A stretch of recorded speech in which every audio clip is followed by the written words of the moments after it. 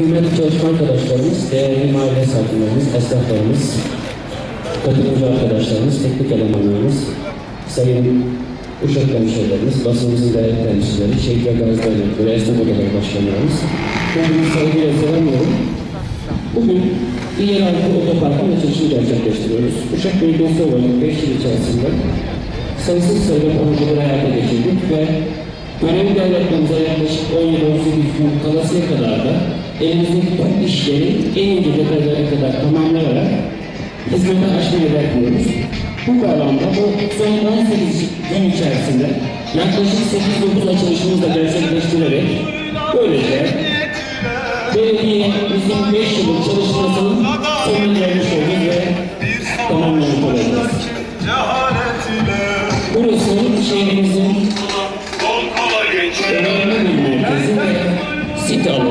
ve biz bu sit alanında yeraltı otoparkıyla kurul bize bir katlı yeraltı otopark izni verdi. Üstü ve altı yeraltı otoparkıyla yaklaşık 90, ara- 90 aracını aldığı ve 750 bin TL harcanarak yapılan bir binayı hizmete açmış olacağız. Otoparklarda şehir merkezlerine ucuz ve ekonomik bir model getirdik.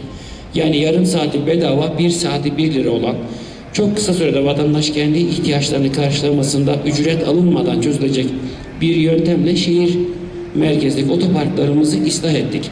Bunlardan bir tanesi de yine Park sinemasının üstündeki yanındaki otoparkımızı da ilave gerçekleştirerek şehir merkezinde otopark kullanım alanları sayısını artırmış olduk.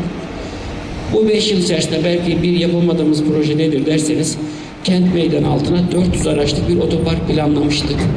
Yok işletle de müşterisi vardı, her şey hazırdı ancak olmadı. İnşallah bundan sonraki zamanlarda yine bu şekilde köklü bütün Avrupa'da yeraltı meydanlarında, meydan altlarında otoparkları çözerek kullanılan artık artık biz de şehir merkezlerinde uygulamak zorundayız. Bunun bir modelini bugün açıyoruz. Emeğe geçen teknik arkadaşlarımıza, yapan firmaya, takip eden arkadaşlarımıza çok teşekkür ediyoruz. İnşallah uşağımıza hayırlı uğurlu olması temennisiyle hepinizi saygıyla selamlıyorum. Hayırlı uğurlu.